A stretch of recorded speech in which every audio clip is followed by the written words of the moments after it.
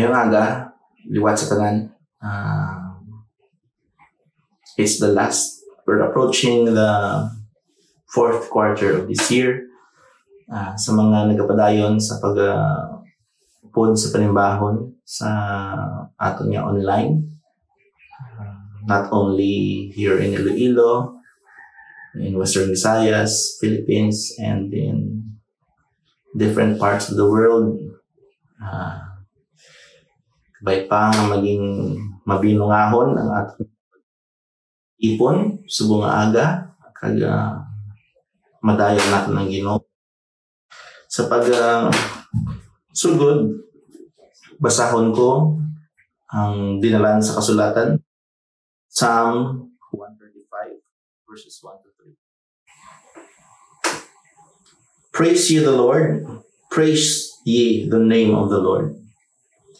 Praise him, O ye servants of the Lord. Ye that stand in the house of the Lord, in the courts of the house of our God. Praise the Lord, for the Lord is good. Sing praises unto his name, for it is pleasant. Ma nanguyo kita, Our most gracious Heavenly Father, Creator and Preserver of heaven and earth. Thank you, Lord, for gathering us this morning. We have the privilege to meet in person and also online. It is a joy for us to know that you are listening Father, as we approach your most holy presence, we do this only in the knowledge that we are justified by Jesus Christ's propitiatory death on the cross. He is our Savior, our Shepherd, and our friend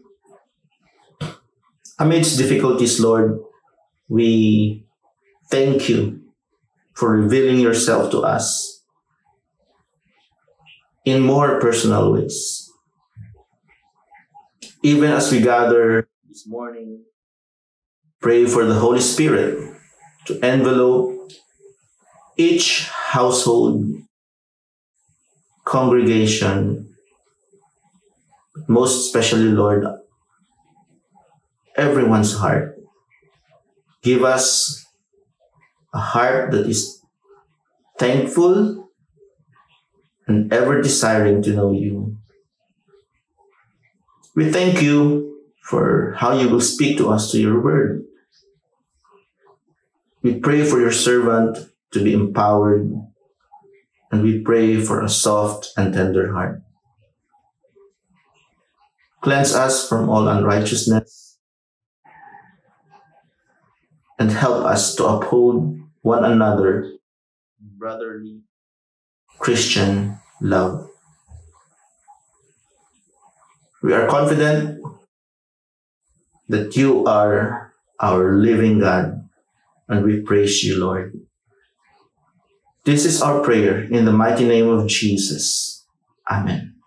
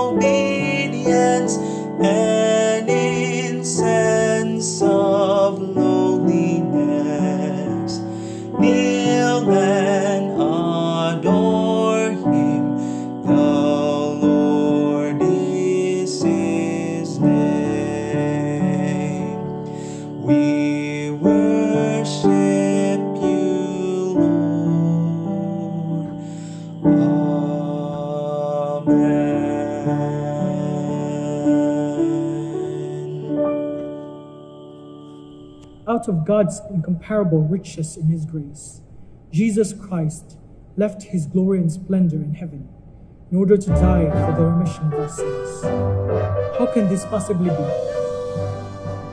The mystery of man's salvation is of God. It is for us to believe and trust in His work. Let us sing this song, and can it be?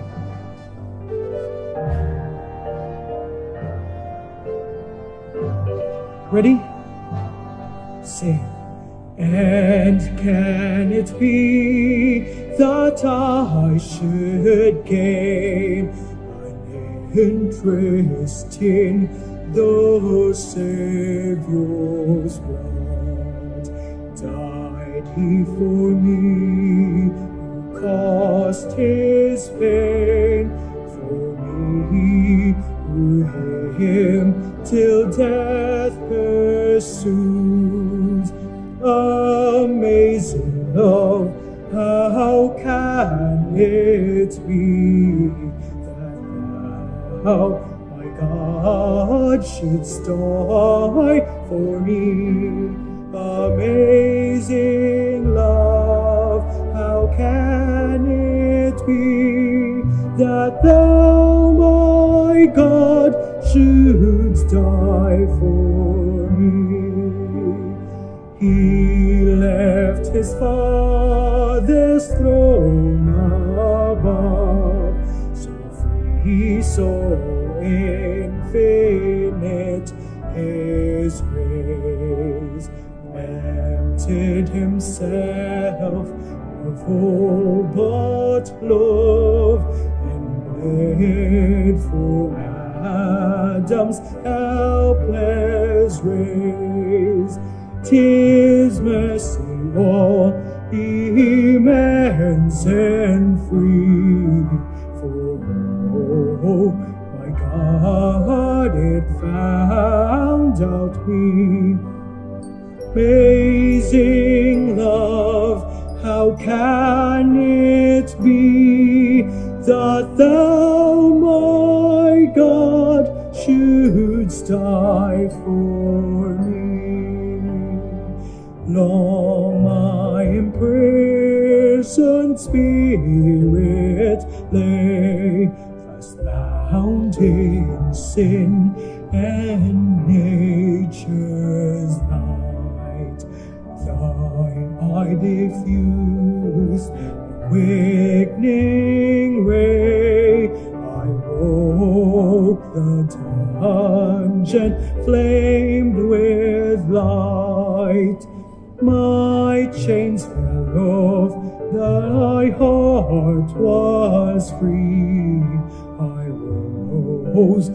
forth, and followed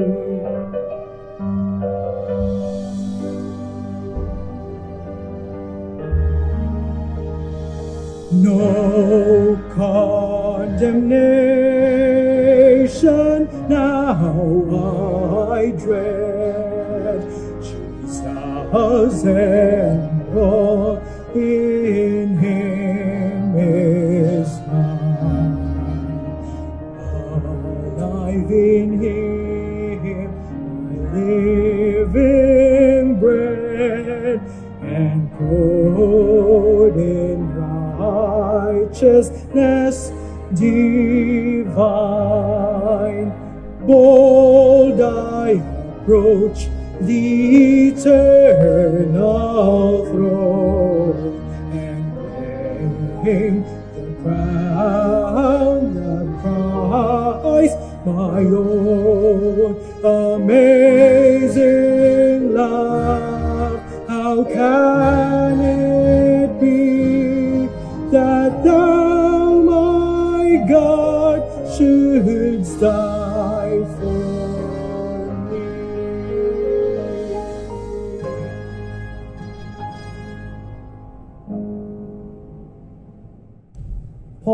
letter to the Philippians, expressed this I count everything but loss for the excellency of knowing Christ.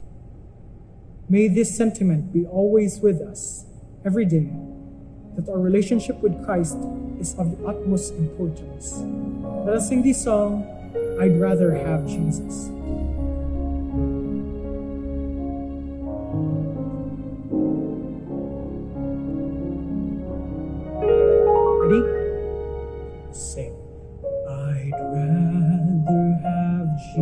Jesus than silver or gold. I'd rather be his than have riches untold. I'd rather have Jesus than houses or lands. I'd rather be led by his hand than to be the king of a vast domain or be held in sin's dread sway. I'd rather have Jesus than anything this world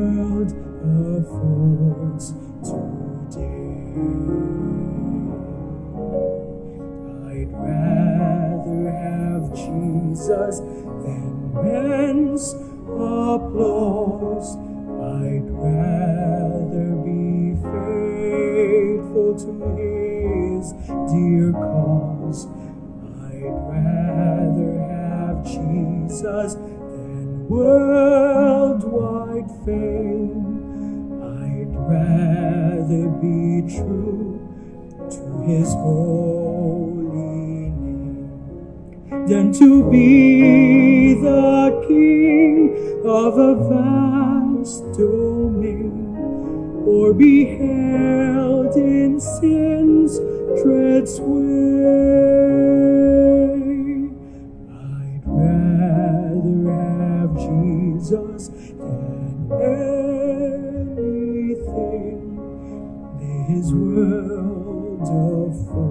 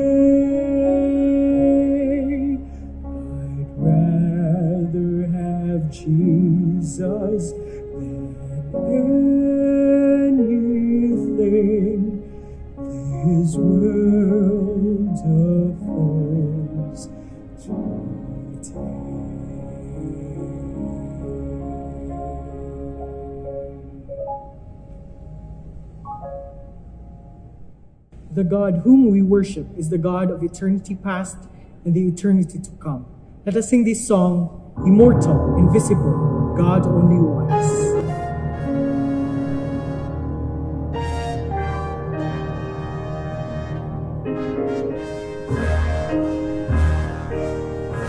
Ready?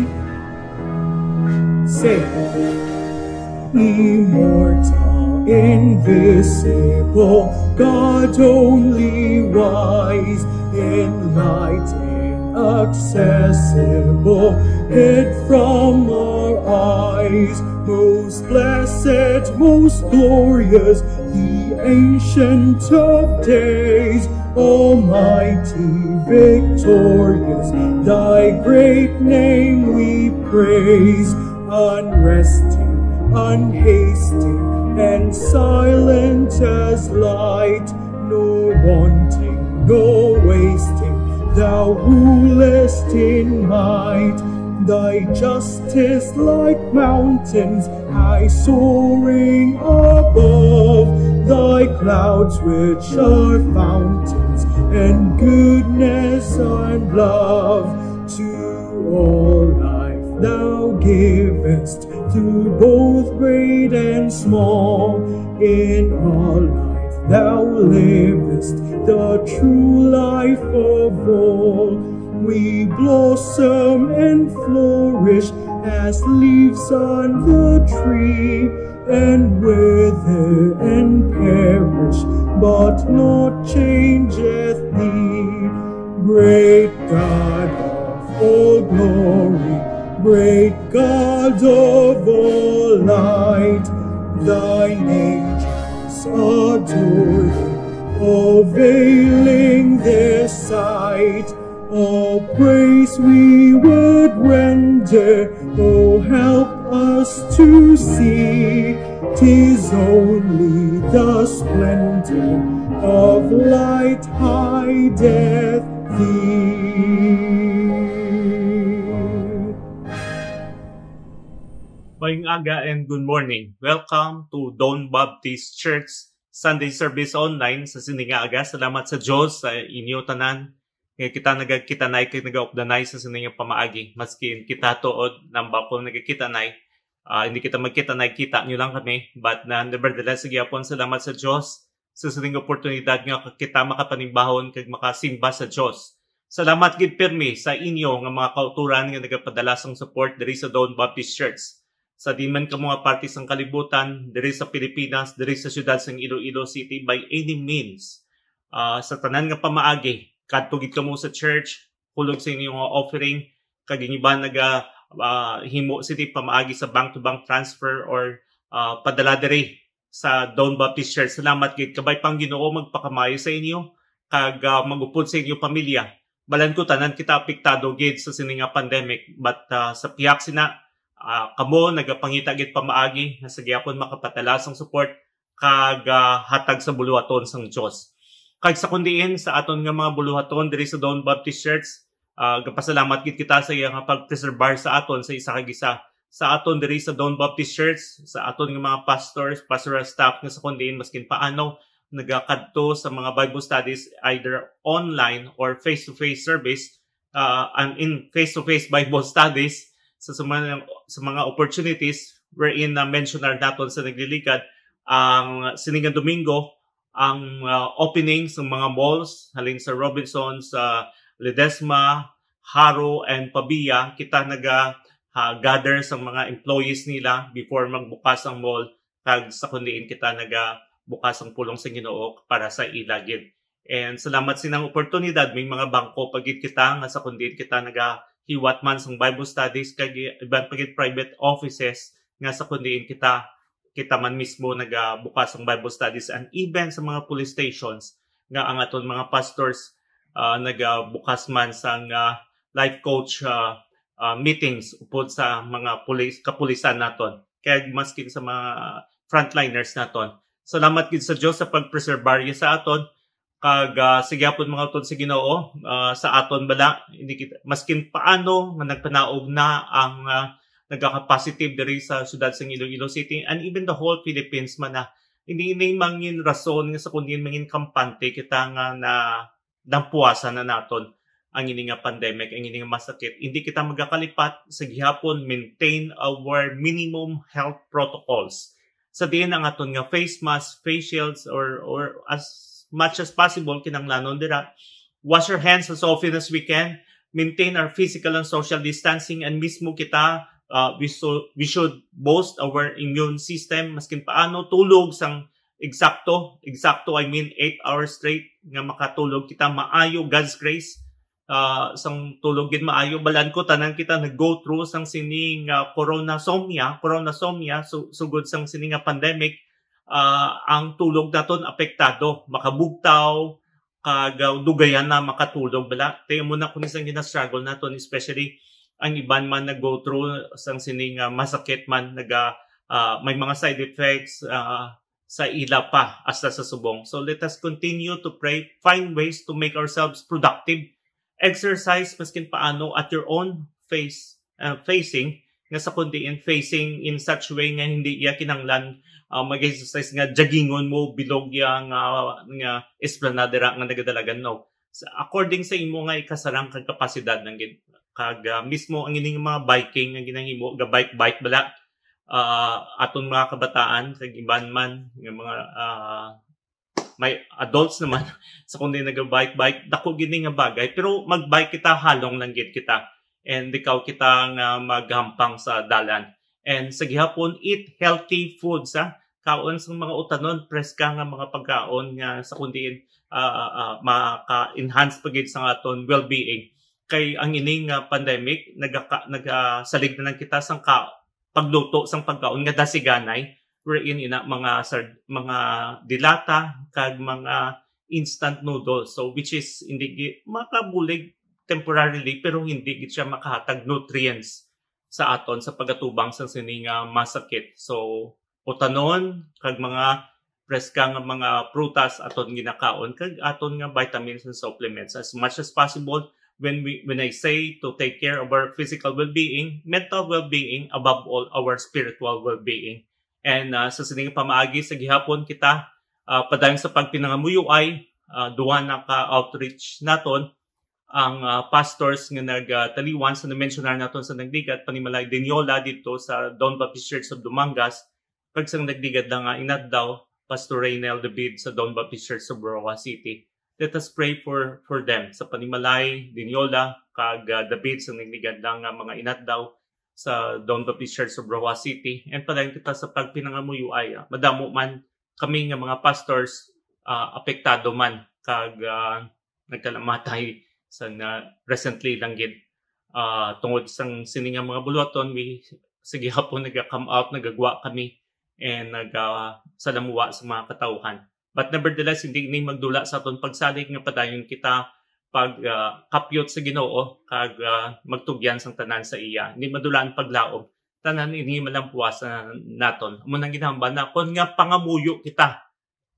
Pangamuyo git kita nga kita gamiton sang Dios mangin solusyon sa problema kay kun hindi kita solusyon sa problema basi kita ang problema. Sa sining nga pandemic gamiton kita sang Dios sa sinanga pamaagi to spread positive outlook in life hindi positive nga sa kundi masakit kag hindi negative fake news and fake news spreader. Ha? Hindi kita mag uh, uh, ano sina yung magupod sa sina ng mga bagay.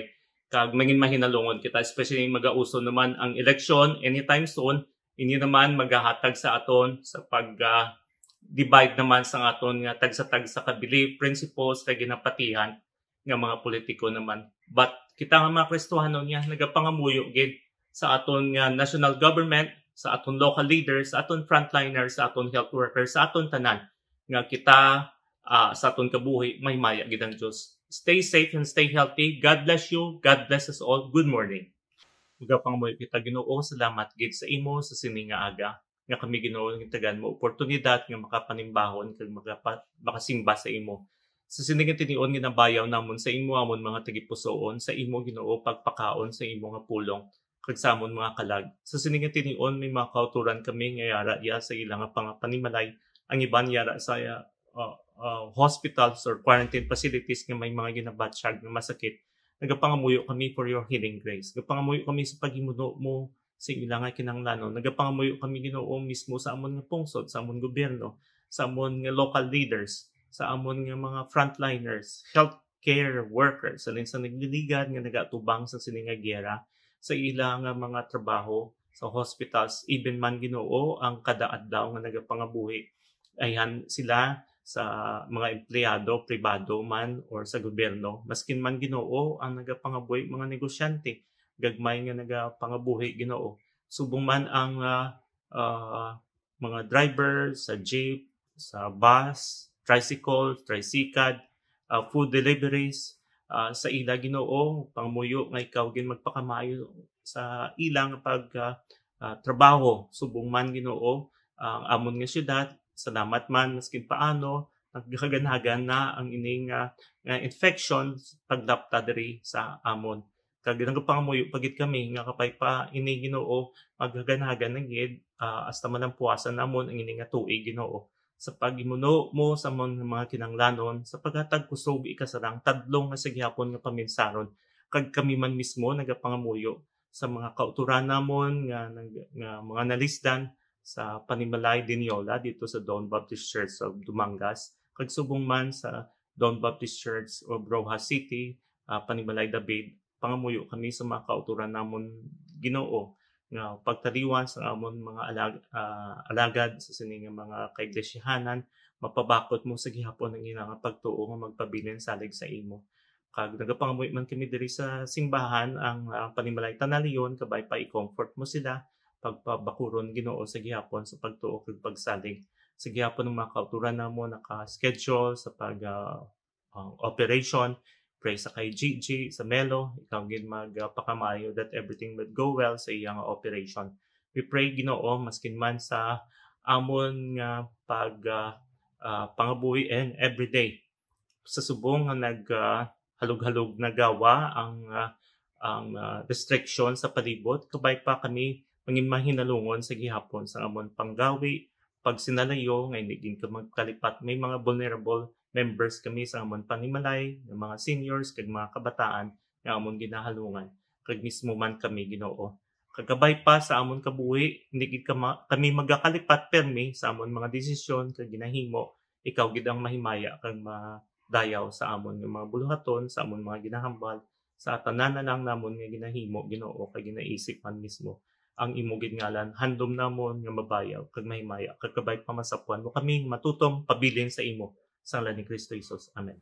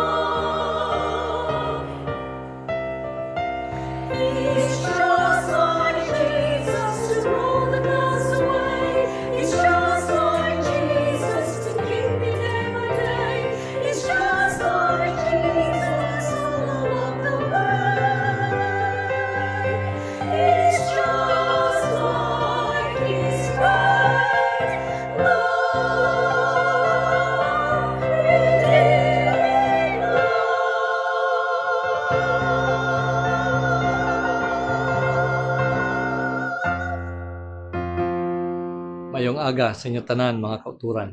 Nagapasalamat kita sa Ginoo sa sini nga Domingo sa liwat makatipon kita sa pagsimba sa iya. Kagabay pa nga sa sini nga tion sa aton nga pagdayaw sa iyang ngalan. Ang Ginoo man magpagighambal sa aton sa sini nga aga. Magadangop kita sa Ginoo sa sini nga tion sa pagpangamuyo. Ginoo, ikaw ang amon nga Dios nga ginayauban ikaw Ginoo ang Dios nga amon nga ginasimba sa sini Ginoo nga aga. Narealisar namon Ginoo nga the way ikaw nagapanghikot sa amon kabuhi, kabuhi Ginoo sang tagsa-tagsa, kag sa tanan Ginoo nga kalibutan. Ikaw nga Dios amo ang nagakontrolar kag nagauyat sang amon Ginoo nga mga kabuhi. Nagadangop kami sa imo Ginoo sa sining nga tion kaya amang Ginoo nga naintindihan nga sa tanan nga nagakalatabo ikaw lang gid Ginoo amo ang takos nga amon nga dayawon nga amon Ginoo nga saligan nga amon Ginoo nga kupkupan labi na gid Ginoo sa sini nga mga tinion. Ginoo hindi lang nga ikaw mabayaw sa amon Ginoo nga tunga sa sining iglesia kun hindi Ginoo sa mga kaiglesiyahanan sa mga kabuhi labi na gid sa nga nagbutang sila nga bugos nga pagsalig sa imo. Hindi lang sa amon nga duog kun hindi Ginoo sa bilog nga kalibutan. O Ginoo kabay pa that your name will be exalted among the heathen, among the nations. O kabay pa Ginoo nga kami galamiton mo. Labi na gid Ginoo sa amon nga mga ministries sa online kag sa kundiin man Ginoo nga paagi nga kami Ginoo malabot mo. Pinaagi Ginoo sa imo Ginoo nga gahom nga ikaw lang gid magapanghikot sa amon Ginoo nga tunga. O Ginoo, kabay pa nang imo nga kabubuton matuman sa amon nga mga kabuhi. Ginoo sa sining aga nagapalapit kami sa imo. Kag ang amon ayhan nga mga gumunhap, amon ayhan Ginoo nga mga pamangkutanon, Ginoo ginaplastar namon nina dira sa imo. Hindi tungod kay luyag kami Ginoo nga hibaluon gid ang imo Ginoo nga mga rason kun hindi luyag lang namon Ginoo nga maplastar namon ang amon nga mga tagipusoon nga bugos Ginoo ang amon nga pagsalig Ginoo dira sa imo. Nadala namon Ginoo ang mga kauturan namon nga nalabot Ginoo sa sini Ginoo nga virus. Nalabot man namon Ginoo ang mga may mga health issues. Nalabot namon Ginoo ang mga kauturan man nga kung diin Ginoo sa mga nagliligad amon sila gid pangamuyuan tungod man sa pagtaliwan Ginoo sa ilang mga hinigugma. O Ginoo kabay pa na ikaw Ginoo ang magalabot sa ila. Labot sa imong bugay nga waay na Ginoo kami sang dangpan mga iban. Pangitaan sang amon Ginoo nga proteksyon. Pangitaan sang uh, Dios nga amo lang gid ang makaalay-ay sa amon. O Ginoo ikaw lang gid Ginoo sa siningation ginadala namon sa imo ang uh, family ni Pastor Reniel David kag ang uh, iglesia Ginoo sa Don Baptist Church of Rojas City. O kabay pa Ginoo nga pinaagi sang sini nga pagkuha mo sa imong ulipon. Sa hindi namon Ginoo maintindihan nga paagi Ginoo makita namon ang imo nga kamot. Makita namon Ginoo sa liwat ang imo nga tinutuyo. Labaw sa tanan Ginoo nga mabatyagan namon ang imo nga presensya sa amon Ginoo nga tunga. Ikaw nga Dios ang nagtawag sa amon sa pagalagdan. Ikaw man ang Dios nga amo ang magasustener sa amon kag ang magadala sa amon Ginoo sa imo Ginoo nga tubangan. O Ginoo sa kadamo sa amon nga mga kauturan sa amon Ginoo nga mga nga mga uh, pastors or workers nga labot sini kag sa mga miyembro Ginoo sang amon Ginoo nga pamilya. O Ginoo kabay pa nga sa liwat Ginoo pabakura kami Ginoo iplastar ang amon nga pagsalig dara sa imo kag sa gihapon nagapangamuyo kami sa family man ni Pastor Dinyola kag ang sa Don Baptist Church sa Baras Dumangas na ikaw man Ginoo sa gihapon na magpadayon sang sini Ginoo nga uh, pag-comfort Ginoo sa ila. Paghatag sa ila sang kusog kabakod o kabay pa nga ang imo Ginoo nga kusog. Ang grasya mo magalabot Ginoo sa ila. Kag ang iban pa nga hindi naman masambit diri pero nangin bahin Ginoo sa amon Ginoo nga pagpangamuyo. O Ginoo kabay pa nga pinaagi man Ginoo sa amon man nga mga uh, online ministries o kung saan man Ginoo nga paagi ma-fulfill namon Ginoo ang imong tinutuyo sa tagsa-tagsa Ginoo sa amon. Uh, ang ini nga family nimo Ginoo sa sini nga kalibutan sa amon nga pagbuligay sa amon Ginoo nga pag-encourage uh, sa amon Ginoo nga paglabot Ginoo sa paghata uh, Ginoo sang mga uh, pulong kag uh, pagpangamuyo sa pagsakda Ginoo sa isa isa o Ginoo sakda ga Ginoo i-comfort i-encourage Ginoo maski man Ginoo ang Tanalyon family ikaw man Ginoo man ang magahatag sa ila sang comfort, sang courage, kag encouragement na kinahanglan nila sa siningation. Ginoo, buligi man ang tagsa-tagsa. O kabay pa Ginoo nga sa siningation nga kami man magatuon sa mga pulong. Ikaw Ginoo mag-encourage, magpakighambal pinaagi Ginoo sa imo Ginoo nga alagad. Kakabay pa uh, hindi lang sa siniginoo nga face to face namon nga uh, panimbahon kung hindi maski ang nagabuylog sa amon sa online o kabay pa Ginoo nga sa liwat ikaw Ginoo magpakighambal sa amon batyagan namon imo nga presensya kag ikaw ang magagiya sa amon magatudlo sa amon magapabakod sa amon sa sini Ginoo nga adlaw Ginoo ari nga amon nga kabuhi. Gamita ini. Kag tubtub Ginoo nga hindi pa matapos ang imong tinutuyo sa amon. Atagi kami sang bugay. Atagi kami Ginoo sang mga pagklaro nga pag uh, giya mo sa amon. Sa amon Ginoo nga mga pag-alagdan. Kag sa amon paghimuon Ginoo para sa imo. Muli Ginoo ang tagsa-tagsa. Namon nga mga missionaries ginadala namon sa imo. Maski man Ginoo iban sa ilang nga nagmalasakit labuta sila Ginoo sa imo Ginoo nga bugay kag sa ilim sa imo nga healing hand. Namon nga mga outreaches pastors and workers and their families. Namon Ginoo nga mga kauturan diri Ginoo sa Iloilo. Sa bilog Ginoo nga panay sa bilog nga Pilipinas. Sa bilog man nga kalibutan nga kung diin nagalabot ang ini nga ministry. Pakamayuha Ginoo ang tagsa-tagsa. Ibayaw Ginoo imo nga ngalan sa among tunga. O kabay pa Ginoo nga mapasidunggan ka namon sa sining tion kag sa tanan nga tion. Ini Ginoo nga nga pagpangamuyo sa ngalan ni Jesus. Amen. Good morning, everyone. Praise God for His uh, faithfulness to all of us, for uh, giving us time to come in His uh, presence today. And uh, of course, it is a great time for us to meditate His Word and uh, to be encouraged, especially in our worship to Him. So this morning, I want to bring you in the book of Genesis, chapter 22. And I'd like to read the first uh, five verses of this chapter. And it came to pass after these things that God did tempt Abraham and said unto him, Abraham. And he said, Behold, here I am. And he said, Take now thy son, thine only son Isaac, whom thou lovest, and get thee into the land of Moriah, and offer him there for a burnt offering upon one of the mountains which I tell thee of. And Abraham rose up early in the morning and saddled his ass and took two of his young men with him, and Isaac his son, and clave the wood for the burnt offering, and rose up and went unto the place of which God had told him. Then on the third day, Abraham lifted up his eyes and saw the place afar off. And Abraham said unto his young men, Abide ye here with us, and I and the and the lad will go yonder and worship and come again to you. May the Lord bless the reading of His Word. Mamuyo kita. Uh, may namon nga balaan, nagapasalamat kami sa siningation na kami makapamalandong sa inyong pulo. Gamita ini sa pagpadayon uh, namon sa pagtubo sa imo.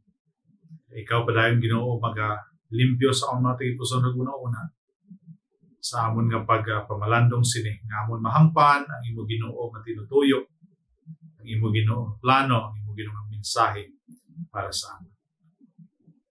Ikaw gid maga upod sa amon sa tanan nga bahin sa pagsimba namon subong aga. Ginasalig namon ang tanan. In Jesus name I pray. Ang uh, Genesis chapter 22 uh, kanami ini nga story kag I know nga uh, familiar kita sa sini nga story kaga pila na sa mga tiniunayhan nga aton ini nabatian ang uh, storya ni Abraham and Isaac. Kaga ini naga-focus isa man nga focus ini about uh, sa pagtuo ni Abraham. But then this morning, I want to uh, give you another uh, picture sa siniman nga chapter. Kaga I know nga ang Ginoo may araman sa nga another nga uh, panguna-una nga luyang ihatag sa aton kaga encouragement uh, especially sa aton gid nga pag uh, padayon sa pagpamalandong Singapore. Kani subong aga uh, tulo ko naton ang ining uh, uh, pagtuon naton sa pulong sa Ginoo nanungod ini sa pag uh, pagsimba naton sa iya, pagdayaw naton sa iya. So na atuntunan a genuine uh, worship uh, to to cultivate. Kaga kung inyo ma ma-observe, especially in verse 5 of uh, uh, Genesis chapter 22, rin, Abraham said unto his young men, Abide ye here with the ass, and I and the lad will go yonder and worship, and come again to you. So in verse uh, 5 of Genesis 22, Amo ni ang first time nga na-mention ang ini nga word nga worship. Kaga makita naton diri nga ang uh, ang ini nga passage nag-set ini sa nga standard kung ano ano bala ang ginatawag nga genuine worship. Kaga ang ini nga worship ni ara sa nga uh, mga meaning kaga I know nga kung kita magahatag sini sang meaning uh, nami man ang mga uh, meaning nga aton nga ma-contribute uh, sa sining word. And yet, uh, two words, sa sa diin makita natin dre, to define the word worship is about reverence or devotion. It is uh, a practice. It is a uh, uh, an action of uh, reverence and uh, devotion to to the God Almighty. And uh, makita natin dre when we worship God, especially nga ang aton dre nga gina nga gina-focus sa Ginoo lang gid ang ini nga pag uh, pagsimba o pag-alagad sa iya. So isa ka phrase nga aton nga makita dire kag pwede naton mahambal to define again the word worship especially to worship God, is God is worthy. God is worthy of, of our love. God is worthy of, of our attention. God is worthy, of course, of our devotion. So in short, He is worthy to receive all that we can give to Him. Kung tulo ko nato naton hugalingon sa isa ka dako nga mirror, mambal ka ba Lord indicate kuya deserving sa pagbaton sa sining nga mga bugay nga imo gid experience ako. And yet if you talk about worship, God is really what? Deserving. He deserves of our praise. He deserves of our worship. In short, He deserves of our. Of what we can give sa iya. So, ang ini nga, ang ini nga word nga worship, especially in this Old Testament, uh, nagahatag ini sa nga dugang pagid nga panguna-una about to bow down and to prostrate oneself. In short, if you uh, respect that master, that Lord, that leader, you have to what? You have to bow down. But imagine, we are talking about God. He is the King of kings. He is the Lord of lords. He is the master of all masters. And He deserves of our bowing down.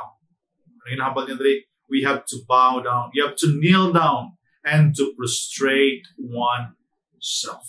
So in short, we have to forget who we are. Ano man ay hanang imo nga natapos, ano man ay hanang imo nga posisyon in your in your work, or ano man ay hanang pagtulok sang tao sa, sa imo, maybe you are popular. But in humble sa pulong sa Ginoo Dre, by giving that worship to the Lord, humble Dre, you have to bow down, you have to prostrate one's self. Not only in the Old Testament, but even in the New Testament, ari man ini ang word ng worship. Kag ang meaning nga, nga aton nga makita diri sa sining worship it uh, uh, uh, refers into a uh, an action nga makita naton nga daw ka daw ka hindi uh, uh, common and yet uh, mahambal naton na uh, matuod nga ini ni katabo So kung makita natin dre ang ang ining meaning sang worship to kiss the hand in a token of reverence. Maloko gina ka daw ka hindi uh, relevant sa aton ng mga tao. But then makita naton dre ang practice. Kaga ang example sini or ang illustration dre nga makita naton uh, it refers to a dog licking his master's hand. So once ganing ang uh, ang ini nga dog makita niya nga master so nagapalapit gina siya. Ka ang iya ginahimo amo ang paglik sa kamot sang iya master kag nagapakita siya sang respect and reverence kag iya ginapakita sa sa bukos ng mga katawan nga this is my master. Or he is my master. Or she is my master. So makita naton dre it is an image of absolute love and complete trust and devotion. So the worship itself may ara siya sang uh, special nga pag uh, uh, define sa aton mga tagipusoon. Knowing nga ang worship uh, hindi na dapat nga i-question pa sa aton, instead aton niya nga i-perform or imuon o kung ikabuhi. Uh, samtang kita nagakabuhi sa sinikalibutan. So si William Temple, may araman siya sang panguna-una about uh, what worship is. Lago inibasahon sa niya, for worship is the submission of all our nature to God. It is the quickening of conscience by His holiness, the nourishment of mind with His truth, the purifying of imagination by His beauty, the opening of the heart of His love, the surrender of will to His purpose, and all of this gathered up in adoration. The most selfless emotion of which our nature is capable, and therefore the chief remedy for that self centeredness, which is our original sin and the source of all actual sin. But as we continue to learn this uh, chapter in Genesis 22, uh, liyon ko maghatag sa isa question and uh, uh, gusto naton nga sabton ang ining uh, ang ining pamangkot paagi man sa paghatag uh, sa aton sa uh, encouragement uh, kaga lesson halin sa pulong sa Ginoo. So the question is, what is genuine worship for us? Ano ayhan ang uh, genuine worship para sa imo kag sa akon? Knowing that in uh, in chapter 22 of Genesis, naga nagahatag man sa aton sa panghuna-una about the testimony of Abraham about the terrible time of testing in his life.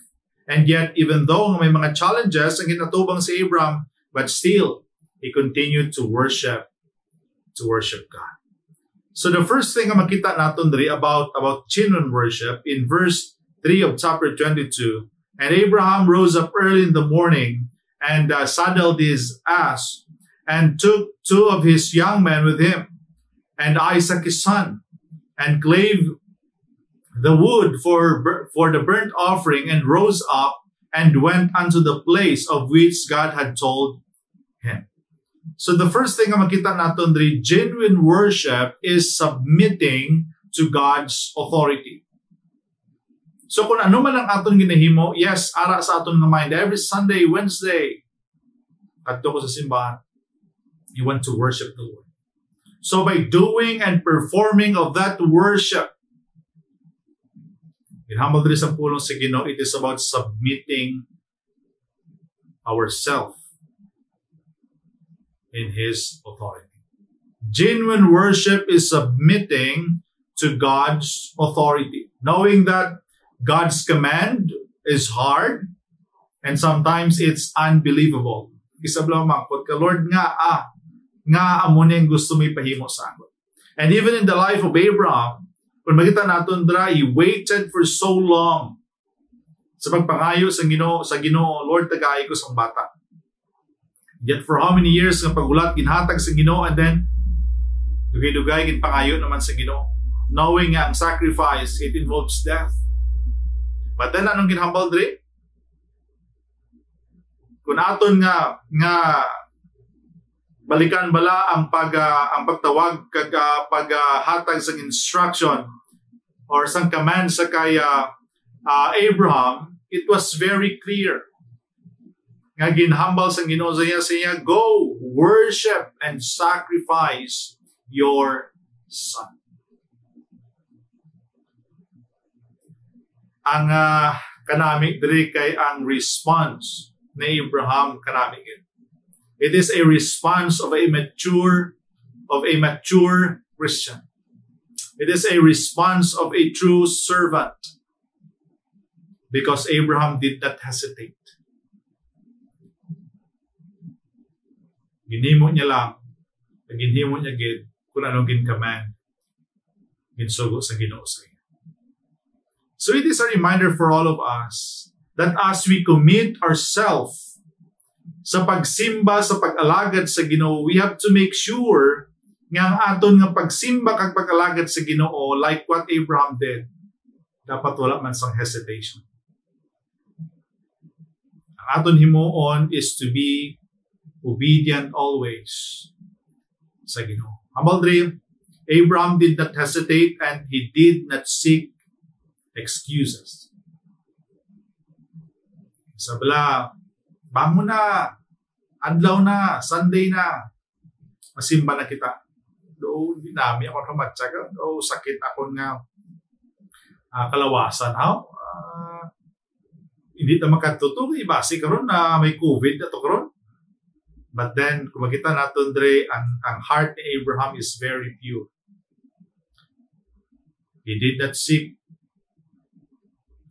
excuses. Anong ginhimo niya? He got up early and he went. A true heart of God is marked by obedience. So kung makita natin gali ang pag-worship natin sa Ginoo, it is also a test of our obedience. That's why in John chapter 14 verse 15, if you love me, keep my commandments. A very simple statement of God and yet very touching. Kaga ini aton gid una-unaon tuod gid man palangga ko ang Dios. Kay kun palangga ko ng ko, ko ang Dios dapat sundon ko ang iya ginasugo sa akon. And even in John 14 verse 21, he that hath my commandments and keepeth them, he it is that loveth me. And he that loveth me shall be loved of my Father, and I will love him, and will manifest myself to him. So nothing says that we are his, and that we love him by doing what it tells us to do. Bisa na mo uli kahambal sa tao, ay ako yung Kristohanon, ay ako yung anak ko yung Ginoo. But then hindi makita sa aton kabuhi that we are faithfully following, obeying the command of God. Yan, tao, even ang Ginoo nagahambal rin. Sa inya, kung hindi kita magsunod, of course, we are not His disciples. Tama niyan rin, He that hath my commandments and keepeth them, he it is that loveth me. In 1 John chapter 3, verses 22 to 24, the word of God says, And whatsoever we ask, we receive of him, because we keep his commandments, and do those things that are pleasing in his sight.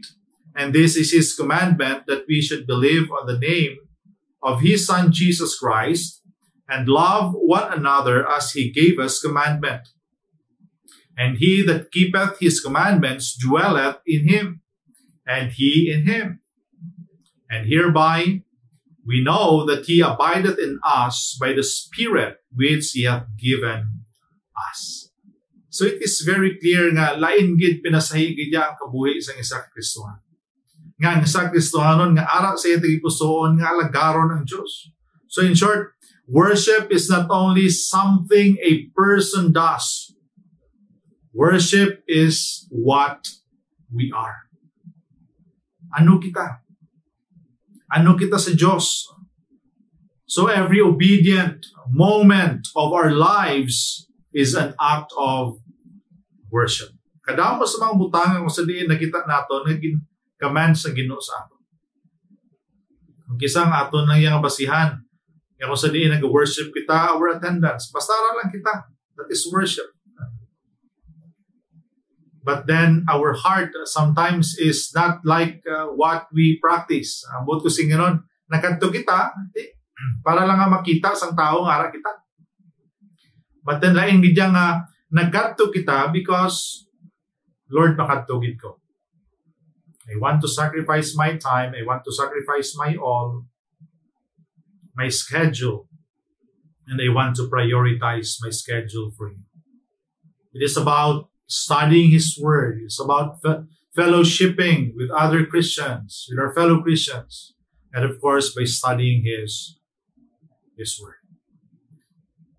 And number two, makita natin dre in verse 2 of Genesis 22, And he said, Take now thy son, thine only son Isaac, whom thou lovest, and get thee into the land of Moriah, and offer him there for a burnt offering upon one of the mountains, which I will tell thee.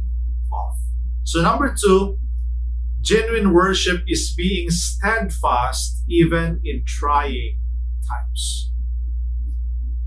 Nakita natin kagina nga wala iya sang excuses si Abraham. Wala sang hesitation si Abraham. Kung kisa sa matinion nga mabudlay, mga pagtilaw kita ginaagyan, rin na nakasunod ang temptation sa kaway. Damo na kita sang excuses. Damo na kita sang uh, uh, attempts but then hindi ma, ma, ma diretso kay tungod nga ara gyapon ang hesitation. But then sa life ni Abraham, gin-purpose na gid siya tagipusoon nga bisan anong matabo sa iyaman nga kabuhi. Whether kamatayon man, he will continue to worship the Lord. Hindi natin mahambal nga Way kabalo, way kay chindi si Abraham. Sa tawag ng offering. Sa gusto nga ipahimo sa Ginoo sa iya. But then, iya lang gid nga tagipuson is willing to obey. Especially nga iya nga pag-obey, amo man ang iya nga pag-worship sa Ginoo. So, humble And he said, Take now thy son, thine only son Isaac, whom thou lovest, and get thee, get thee into the land of Moriah, and offer him there for a burnt offering upon one of the mountains which I will tell thee. knowing that Abraham had just finished a time of worship in uh, Beersheba. Nang makita naton dra sa uh, Genesis 21 verse 33 and Abraham planted a grove in Beersheba and uh, called there on the name of the Lord, the everlasting God. Na-imagine ko bala ang ilang uh, kabuhi sa una singko perti kakapoy. Wala iya sa mga machines nga mag-help out sa ila sa tiyon na kinahanglan sila sa bulig. Even maybe tao, do hindi nila ma- ma-reach out daw kanya-kanya o kung na ikaw ya kung anong imo ya nga disposisyon sa imong kabuhi. And yet, makita naton dre ang pag uh, alagad ni Abraham sa Ginoo gid makita niya gid nga wala sang ano wala sang kakapon. So, makita naton dre that Abraham enjoying a time of blessing. Not only a blessing, but a prosperity as he worshiped God. Kung kis ang aton nga huna-huna, masimba ko sa Ginoo kay para i-bless ko sa Ginoo. Masimba ko sa Ginoo kay i-prosper niyo. You know, by following the Lord, by doing His command to worship Him, aram na nagasunod sa imo ang blessing. Aram na nagasunod sa imong prosperity. What I'm trying to say is, unaha lang gid, sunda lang gid ang Ginoo. Kay nga, kung kalipat kita sa aton commitment sa Ginoo, ang Ginoo wala kalipat sa pag-bless sa aton sa pagpakamaayo sa aton, sa pagpauswag sa aton sa kung ano man nga mabutang sa kabuhi naton. So makita naton diri Abraham worshiped the Lord when times were good. And even in times or in trying times or in tough times of the life of in the life of Abraham. So makita naton diri ang enjoyment ni Abraham. It turns into the worst kind of uh, experience. E nga, lipay na sa kayara na may bata na siya, eh. ginsabat na sa ginong iya pangamuyo and yet, nakabalugid siya. Anytime kwaon ina sa ginoo and yet, nakabalugid siya. Nga, bisan kwaon sa ginoo, iya man gapon himuon ang iya kapag-alagad pagsimba sa ginoo. So, makita naton dre, sa aton balang nga pagkabuhi, possible nga matabo man ang naagyan ni Abraham sa aton. But the challenge here, the encouragement here, maybe sometimes we cannot understand what is happening in us. And yet, knowing that even in trying times, even in testing situation, like what Abraham experienced, habang sa pulong sa Ginoo, padayon din kita sa pag-alagad, pagsimba sa Ginoo. So easy to worship. It's your the reality. Easy to worship when God um worship God when things are good. Actually, sakto git. But not easy when hard time or hard times come. Pero bisan ano kabudlay pa, aton gid tingwaan nga mahimo naton ang tutuon nga pag-alagad sa Ginoo. Dara gid naton makita kung tutuon gid ang aton nga commitment sa Ginoo, tutuon gid ang aton pagsimba sa Ginoo. Nga sa tanion nga kung sa diin may ara sang mga butang upang and yet ang imo tagipuson still what enjoying sacrificing yourself for the Lord. In short, genuine worship looks beyond the crisis of the hour and sees of God who is worthy of worship regardless of how life is going. Salamat kita gani sa ano kabudlay sang aton ginaagyan pagtilaw man ayhan but still we have that time we have that privilege sa pagpalapit sa pag-alagad sa Ginoo. And let us, let us take note of this. That genuine worship sees a God who is in control of all the situations of life. and it bends the knee to him. In Romans 8, verse 28, a very familiar passage, and we know that all things work together for good to them that love God, to them who are called according to his purpose. And even in Psalm 37, 23, the steps of a good man are ordered by the Lord, and he delighteth in his way. So this is also a test of our character, a test of who we are. Kaya ginhambal sa pulong sa Ginoo, good man, the steps of a good man are ordered by. The more ako sa diin, gakaagyan naton ang mga kabudlayan sa pagkabuhi, sa pag-alagad sa Ginoo, the more nga naga sweet pagid ang aton nga pagpalapit sa Ginoo, aton nga pagsimba sa Ginoo. That's why ang aton kami sa Ginoo, Lord, when that trying time comes, please help me not to make excuses in worshiping you. And genuine worship sees the hand of God in all of life and loves Him through the good and the bad. And don't pila sa aton ring excited. Nga sa tinion ng usali na batsyagan mo nga ari naman ang mga pagtilaw sa kabuhi ko. Ari naman ang mga sitwasyon nga daw hindi ko tani gusto. And yet sa piyak ng bahin, maambal ka. Amo naman ini ang tinion. Nga pinakamatamis ng sitwasyon tungod makita ko naman, kabatsagan ko naman kung paano ang kamot sa ginoo magauyat sa akon, maga-control sa akon, ka maga-direct sa akon. Sa iya bugay, sa iya kaluoy. Utod sa Ginoo, ang pagsimba sa Ginoo hindi lang sa tinion ng bugana. Ginhambal sa pulong sa Ginoo ang pag-alagad naton sa iya sa tanan nga tiyon. The third thing here, makita natin in verse 5 of chapter 22, And Abraham said unto his young men, Abide ye here with the ass, and I and the lad will go yonder and worship, and come again to you. So number three here, genuine worship is being separated from the world's influence.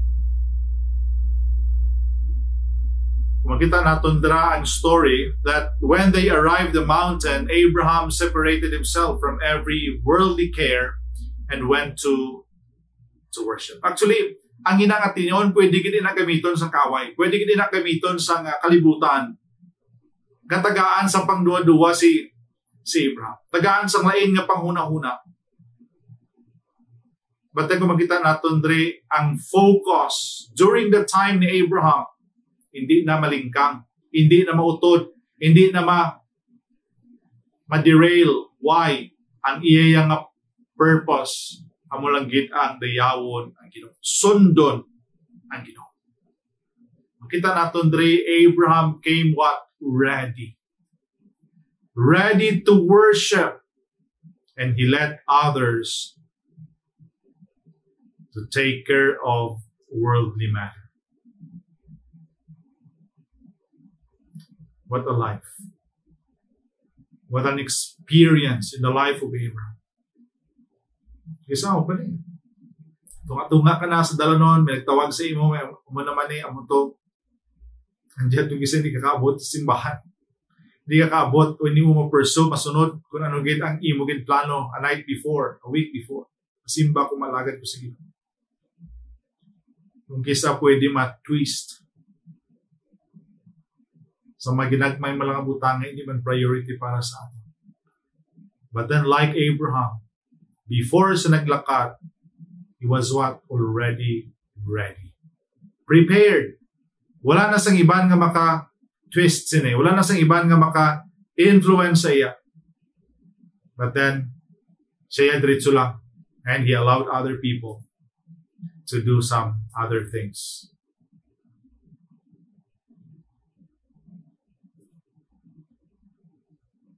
pwede gid ni gamiton sa Ginoo nga aton pag-alagad. kita magatubo, kita magabakod sa aton pagtuo sa iya. Pero ang kaaway, pwede man na gamiton sa kaaway ang aton kaugalingon. Iya siya magakontrolar kag ato kag iya kita nga ipalayo sa aton gid na tinutuyo ang mga pagsimba sa Ginoo. In short, genuine worship should be the first priority of our lives. It talks about priority. Ano gid lang priority mo sa kubuhi mo? Ano gid lang priority mo especially sa pagsunod sa Ginoo? Ang Madre, we should do nothing else until we have worship Him. Unahan Ginoo. Unaha siya. Unaha si Jesus before anything. In Mark 1.35, And in the morning, rising up great while before day, he went out and departed into the solitary place, and they prayed. Amo lang ilang ginimo. Pagmuklat sa ilang mata ng ginimo na nagpangamuyo sila. Nagsimba sila sa Ginoo. In Psalm chapter 5 verse 3, My voice shalt thou hear in the morning, O Lord. In the morning will I direct my prayer unto thee, and I will look. Once ganing ako ng adlaw naton, ang una naton nga mamuklat ang mga butang nga wala sa pulos. Apektuhan na lang ang bilog adlaw sa aton. Nga daw natapos naton ang isa ka adlaw, nakapoy kita, feeling naton damo kita sa nahimo. Pero ang outcome niya, wala kita sa pulos. But when we prioritize God sa kabuhi naton, we know ang ilang adlaw maging fruitful para sa atin. You know, worldly concerns, anong mahimo niya? Contaminate our public worship. Ang aton ganing igyatawag ng worship service, it's only about one and a half hour. So one and a half hour, pila ihan ka percent nga aton gin-focus ang aton tagipuso na guna-una sa Ginoo. Base nga aton lang yung pagtulok sini, ba, makita nila nga ari ko, kigid ko. But you know, sometimes, di may subong daw, blessing man no, ang COVID sa aton. Kaya daw, ah sa una ya, nami, gid kay may mga fellowship. Di sa nag-COVID na, daw hindi na namin, kaya daw hindi na istorya. Pero kung makita bala naton, may araman sa isang maayo nga nahimo sa aton. Kaya nga, sometimes we are too excited to share some some things in our in our life. And yet yung isa ang problema. Pag excited pag kita sa pag-share sa mga butang eh hindi man aton. Kung isa hindi patuod so in short kung kisa ang gakatabo sa aton ang church ano na the center of words. Or in short gossip. Istorya nga wala sa pulos. Maybe sa church gusto mo ipakita ng ati. Ara ka. Complete attendance ka for this year, 2021. And then pagkita mo nga ati, maayo-bayo mo, maayo buhok mo, and then, uh, isa, masimba ko to black, kay may, may, kuha mo to, may plano ko, te, amo ni akong plano, i-share ko to kay amo sila. Anong ginablang plano nato? Is to worship God, is to focus ourselves before God, set aside na ina. Mailan na anaya ang ginahimo naton Mondays to Saturday. Pwede naton nga hindi naton pag-iintra sa aton nga pag-alagad sa Ginoo. The problem sometimes is kung kisa nakatugid man kita but ang aton ginapangita is not the presence of God. Sometimes you look the fault of others. And the worst thing sometimes because we are there, we are in that church, and we are the cause of, tro- of the trouble or troubles. So when we enter the place of God, we should come for the sole purpose of worship. Ano lang purpose natin? Of course, is to glorify Number 4 nga makita natin rin in verses 5 to 10. It speaks about genuine worship is fully sacrificial. Kung balikan natin bala ang uh, verse 2 sa uh, chapter 22, And he said, Take now thy son, thine only son Isaac, whom thou lovest, and get thee into the land of Moriah, and offer him there for a burnt offering upon one of the mountains, which I will tell thee of. It's about sacrifice. Sacrifice your time, sacrifice your effort, sacrifice of everything nga may ara ka. But even though nga makita mo ay daw full of sacrifices na mo sa kanong self out, but still you have the joy in serving the Lord. Wala pala sa question nga daw, kapoy na ko do tanan ara na sa ako, dos nagali na lang tanan sa ako na do ako na lang tanan ng effort. Wala na nang kabo sa iyong mind. Why? Because ang ara sa imo tagi pusoon, nagakalipay ikaw because even ang tanan sa imo nga ihatag ibutang dito sa pag-alagad sa Ginoo wala sang problema. Why? Because your focus is to worship God through your life.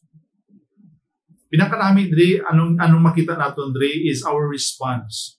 And Abraham responds sa sini nga pagtawag siya sa Ginoo to sacrifice Abraham responds he never wavers he gathers what he needs and he goes to do what the Lord has asked of him.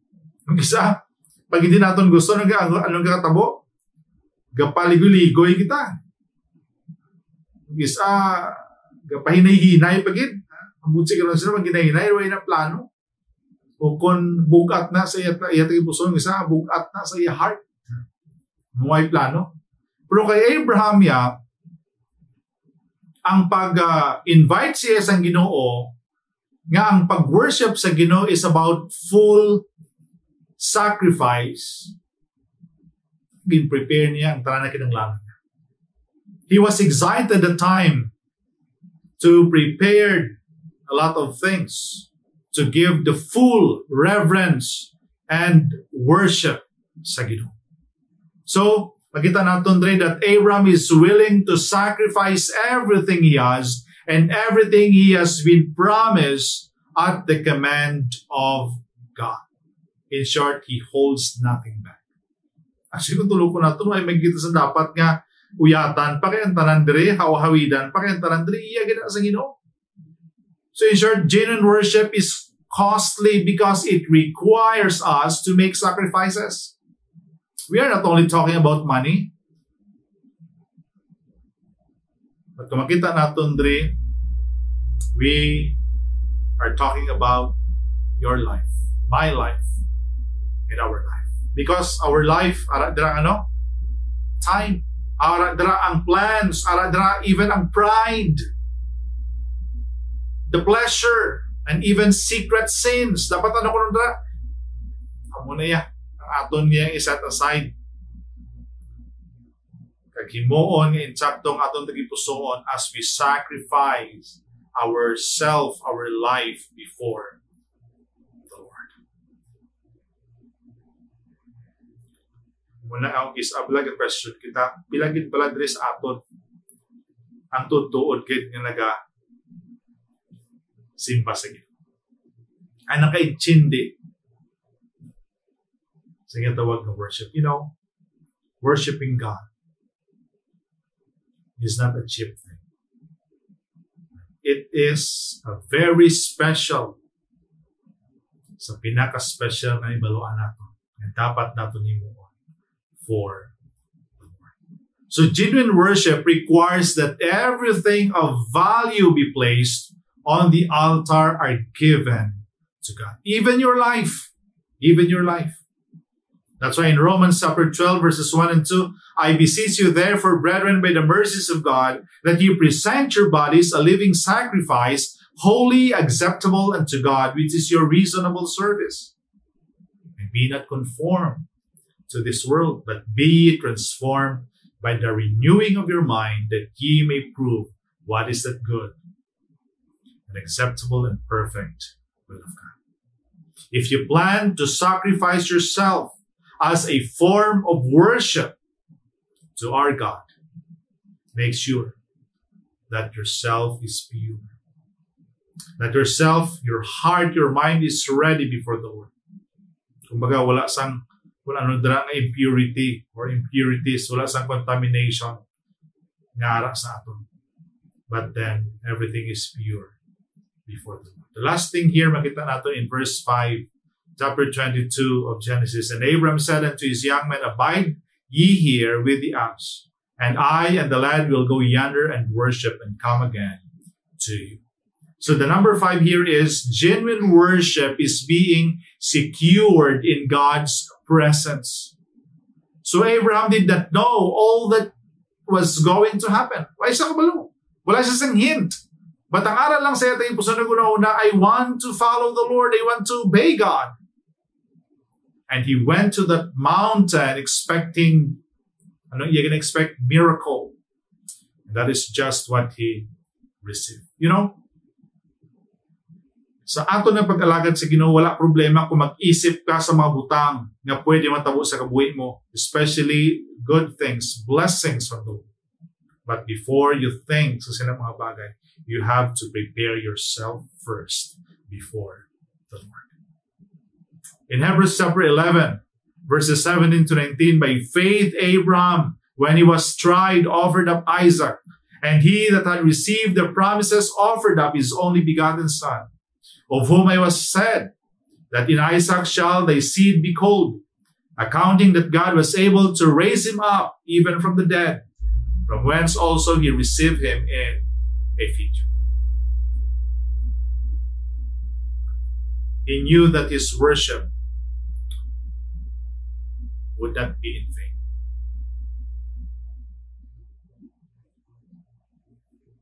May bilang ka mga butang nga makita natin diri nga maga-define about what genuine worship is. You know, genuine worship doesn't understand all of life.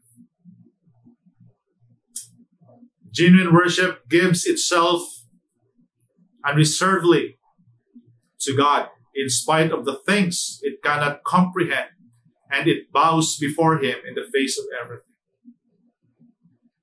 Genuine worship knows that its earthly expression is merely practice for what will be perfected in heaven.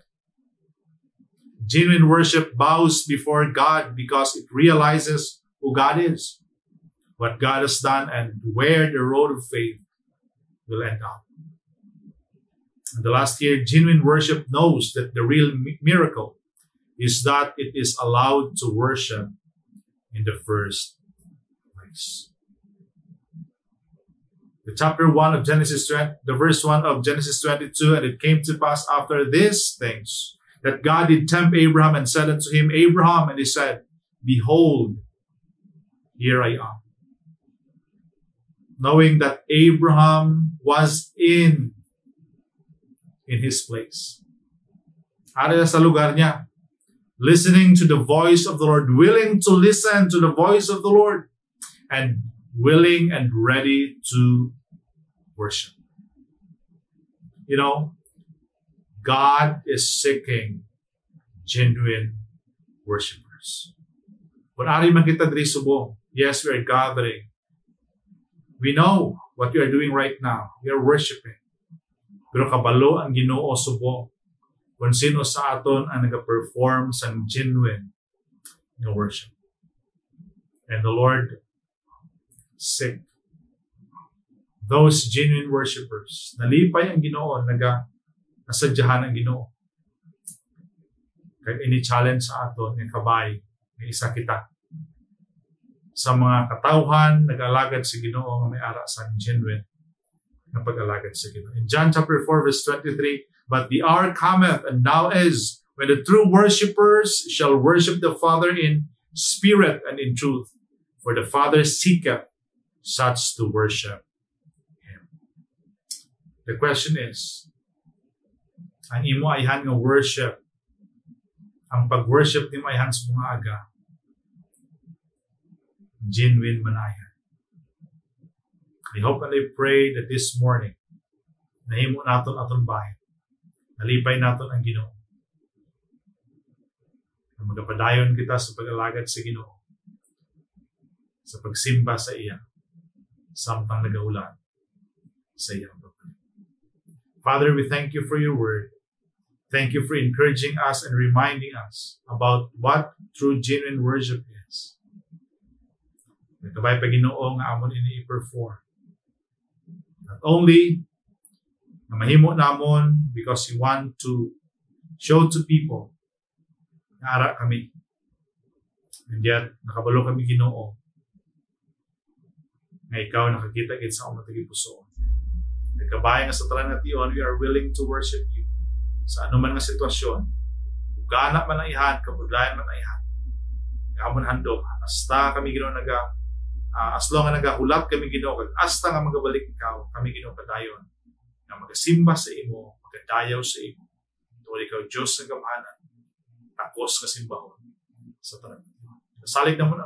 In Jesus' name I pray. Let us praise God, the King of heaven, for he alone is worthy of our praise. Let us sing this song, Praise to the Lord, the Almighty.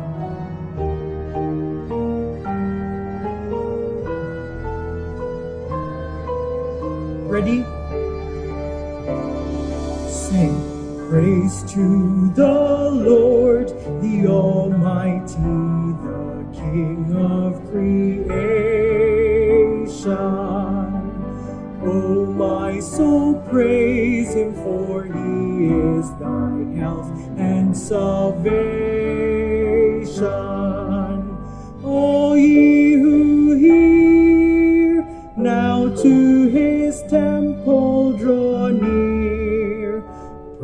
Him in glad adoration.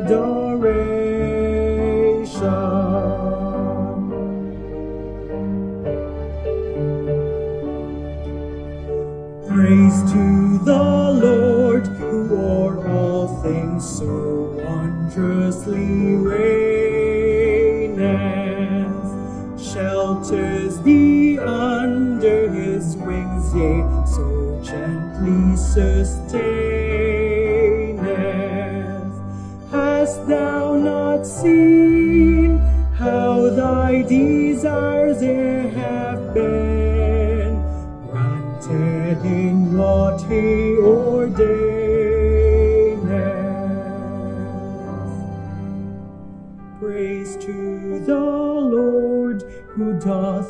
prosper thy work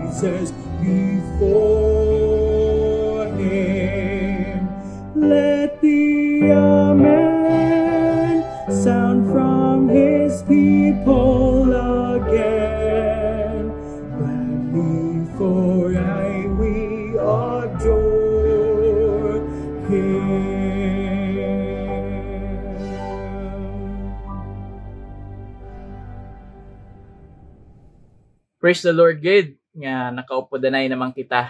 Salamat gid sa mensahe nga ato nabatian. Salamat gid sa ah, mga ambahanon kag ah, mga pangamuyo nga ato nahimo subong nga aga. As we close, let us pray. Our gracious God, Heavenly Father, salamat gid nga kaupod ka naman namon subong nga aga as we give you honor and glory sa nga worship service. Salamat Ginoo sa tagsa-tagsa. Salamat Ginoo nga ginpadala mo imong mensahero sa pagwali sa imong pulong. Kaga pagpuno naman sa amon mga kalag, pagbusog Ginoo sa amon mga kalag. Kaga pag-equip naman sa amon sa bilog nga week naman nga gin-prepare mo para sa amon. We pray Ginoo nga we will uh, put our confidence in you. Kag will always uh, trust you with all our heart in spite of uh, anuman uh, atubangon namon sa subong week. Kabay Ginoong amon eyes maga-sentro lang gid sa imo. Ikaw maga-strengthen sa amon, maga-guide sa amon, maga-bless sa amon, mag-provide sa amon. Kag uh, kabay Ginoo, you'll keep us healthy padayon Ginoo ikaw magabulig man sa mga kauturan namon may mga sakit, ang mga kauturan namon nga nagtaliwan or mga kauturan namon nga nadulaan sa ginigugma. Kag bisan pa Ginoo sa mga kautud namon nga nalayo sa imo. Ikaw maglabot sila Ginoo pagi sa imo simbahan. I pray Ginoo sa amon leaders, sa church, sa amon pastoral staff, kag sa mga kauturan namon Ginoo nga nagapadayo nagaminister sa imo bisan pa Ginoo sa amon nga pandemic. We pray for our government as well sa ilang mga uh, mga plan. I pray Ginoo nga ikaw maghatag sila sa kaalam especially sa amon mayor man. We pray Ginoo nga ang imo pulong makalabot sa ila kag sila man Ginoo makakilala kag uh, magbaton sa imo I pray Ginoo nga gamiton mo ang imo church to reach out uh, the lost soul sa amo nga city. Kaya taga mo lang kami uh, padayon nga confidence Ginoo. Kaga love for people as you have loved us. Thank you Ginoo kay uh, you are our hope and we could always trust you. Sa bisan ano nga tion kay sa ano nga sitwasyon. Salamat gid Ginoo. Again, Lord God, we pray that as we um, face are weak, our eyes will always be centered to you. May the grace of the Lord Jesus Christ and the love of the Father and the communion of the Holy Spirit be with us all, now and forever. Amen.